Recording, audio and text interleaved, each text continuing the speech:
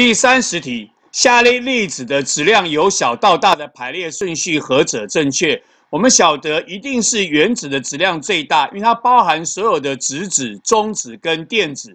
而我们晓得电子的质量很小，一个电子的质量只有一个质子的质量一千八百四十分之一，所以我们知道电子的质量最小，原子的质量最大。所以第三十题问我们说，下列粒子的质量由小到大排列顺序何者正确？我们答案选的是 A，电子、质子、原子。